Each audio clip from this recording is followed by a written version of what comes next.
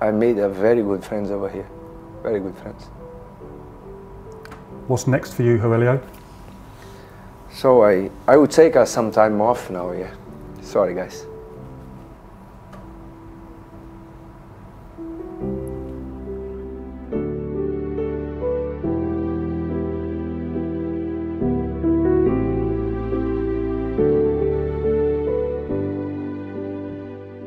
Heurelho, so this is it? Yeah, unfortunately, it's not another prank. unfortunately, yeah, this is the end. This is the end. Why now? Uh, because, uh, to be honest, I wanted to stay longer. Uh, different than uh, was last season, you know. Uh, before I make the decision, when I made it, I embraced it. But I was more prepared to to finish last season than than uh, I was now, uh, because the way the things uh, went went through, you know, I I wanted to to help uh, the team a little bit more, uh, especially in this whole situation that the club at the moment, you know, it's not nice. the way we we ended, but yeah, I wanted to be uh, part of the team that will will bounce back from from what's happened last season. Can already see it in your eyes. Emotional? Yeah, always, always. 2014, you've been here. Mm-hmm. Did you think you'd be here six years later? never. I never thought about it. Uh, when I signed for the club, my my aim was, together with the club, was to get promoted. But uh, it was more than a dream. You know, it was six great years apart from from the last one because uh, what's happened. But uh, I don't think uh, people will forget the good times. You know that uh, we gone together. How much does this place mean to you? Can, can you describe it? Yeah, it means a lot because uh, uh, the people here and the club, uh, they made me a dream again. You know, I was my contract was ended at at Spurs, and I was on my way back to Brazil a day before my flight to Brazil in 2014 with all my luggages and everything, furniture and everything uh, a director of uh, Watford called me and with this opportunity, you know. Of course, it was a quick decision, but the right one that I made uh, helped me uh, to believe that I could keep pushing, you know, at uh, my level. Uh, and to be honest, to finish in high, you know, in a high, not in the way that the club finished myself I'm speaking about myself. I believe that I finished in a high, you know, even even with uh, what's happened. 159 appearances, mm -hmm. 37 clean sheets. But I think your influence here goes way beyond that. So I just want to touch on a couple of areas. Your community work, first and foremost. How much mm. has that meant to you? Yeah, it means a lot because I believe the club is is more than a football club. Uh, the people and the way football changed people's life is incredible. And the way the way this football club does does the things outside the pitch is amazing. That's why I really appreciate uh, to do things for the club uh, with the community community as well because it's that is the way to do football. At the Cedars Centre you were with Rita Taylor yeah. At Meriden, you were with the late, great mm -hmm. Graham Taylor. Yeah. Special bond you had with that family? Mm, oh, of course. A special occasion, occasion, special people. You know, I had the opportunity to, uh, to meet them uh, doing things like this, you know, uh, outside from uh, Vicarage Road. So uh, it was amazing. So uh, the big man was there. I had the opportunity to meet him personally for the first time. Uh, and uh, uh, involved in uh, things like this is uh, really, really special. special. How would you describe your relationship with the fans? I believe we share, uh, we used to share love between ourselves and respect. That's uh, thing that uh, money doesn't buy relationship like this, and uh, also uh, uh, the things that I, appreciate is give my time to them, and I I try to give my best. You know, no, not, not only on the pitch, but outside of the pitch as well uh, where where they are important to, you know. Uh, the fans is, has been amazing with me, and so I'm grateful to them.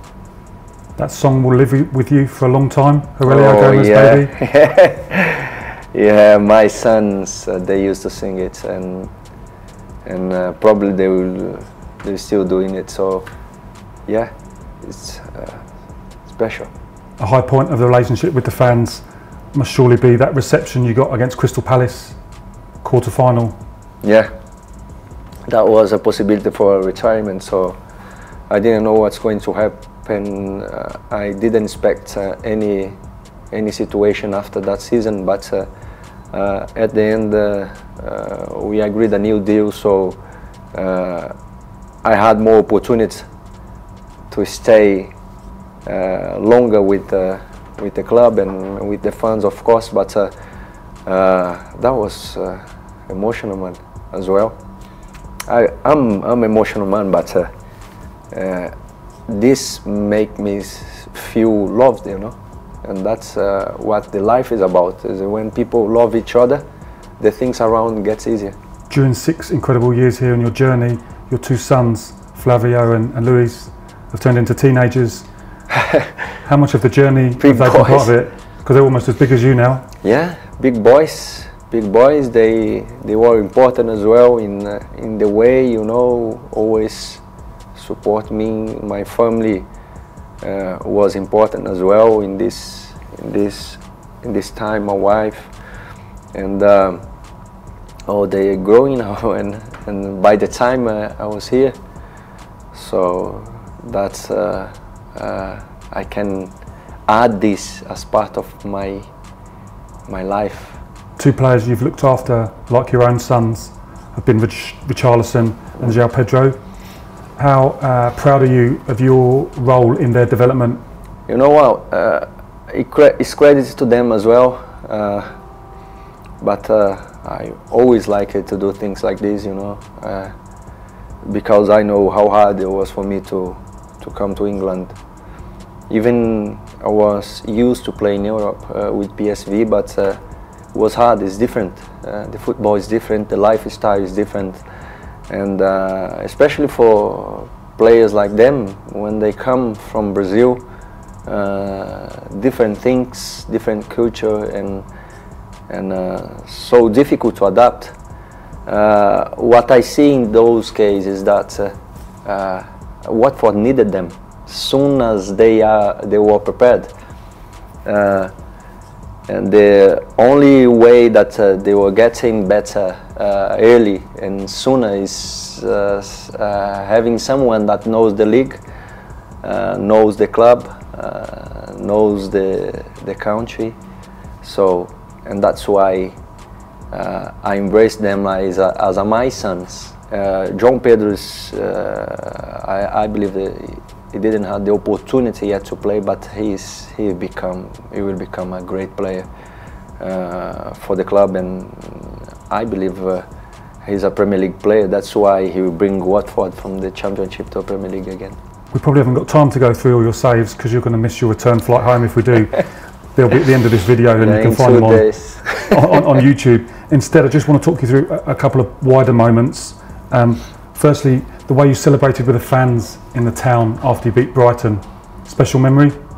It's something that, uh, man, it's something that we, uh, goalkeepers is special, special position. We are alone, and the only, the only ones that we really can celebrate and share our emotions is the fans.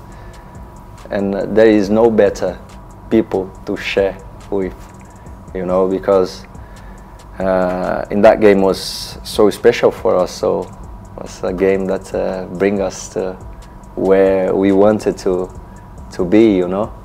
The FA Cup semi-final against Wolves. Mm. I watched it again the other day, and it sent shivers down my spine. Still, Yeah. great day. great day, great day because uh, uh, I was uh, I had the opportunity to play that game and and the way we bounced back as well. Uh, two nil down and people was just uh, Wolves was celebrating uh, their victory. Uh, but uh, until the end, I was telling the boys just keep keep believing, keep pushing, and they did a great they, great job at the end. Uh, it was a great turnaround and and uh, uh, a game to uh, to be in our mind forever, I believe. Finally, the, the Player of the Season award you won in 2015-16, Mm. first season back in the Premier League, Yeah. to be the, named the best player that season. Proud moment. Yeah, great moment, especially for me. Like I said before, uh, I was leaving. Uh, I was on my way back to Brazil. Nobody was believing me anymore. So, what Watford did, and uh, the only, the only thing that I used, I, I could do to pay it back is to performance, and uh, that was great season. Not only for the club, but uh, myself as well. Given the high points we've just discussed, how sad was it? It ended the way it did at Arsenal with relegation and you in tears. Man, I, I feel it. I always, when I used to discuss my, my contract with the club, I used to tell Gino that I'm not here for the money. I, I'm here to, to work before the money. I will put the club before the money, you know. So uh, sometimes uh, uh, things go in your way, uh, on your on your way that hurts, and that's a type of thing that hurt me a lot because is a that wasn't the way that I wanted to to finish. So, but uh, yeah, but as now now it's time for for the club to bounce back straight away because uh, we still can do it. What's next for you, Heurelho? So I, I would take uh, some time off now, yeah. Sorry, guys.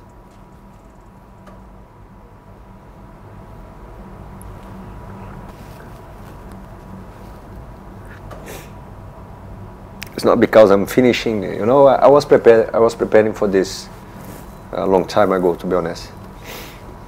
And uh, but it's because I'm I'm leaving a place that. Uh, I like a lot. And also the people, the way that uh, they used to treat me, incredible. They treat me like a part of the family as well, and I feel part of uh, of the family of of this football club. I will take some time off with my family, so but I will be around. I'm gonna be around, so uh, I have decided in the last uh, few weeks that uh, I will be involved in football. Not, of course, uh, not inside, not outside in the in the office, but uh, uh, bring some talents to to Europe. I got this uh, religion stuff as well that I want to be involved in, and uh, to try to help people uh, outside of the things that I know how to do it, uh, which is football. Can you make us one promise? Yeah, tell me. Can you come back and see us at some point? Yeah, hundred percent, hundred percent. Just let me know. I will be because uh, I want to have a chance to say goodbye. You know, uh, uh, like I said, uh, whatever the club needs from me, I will be available for the club. Well, I think I'll speak on behalf of the fans, all the staff here, both in the club and the trust. Thank you for everything you've done for this place, um, and you'll be sorely missed. Thank you. I will miss you as well, for sure. Hundred percent. Thank you, guys. Love you. Stop. Don't go anywhere. Click here for more videos.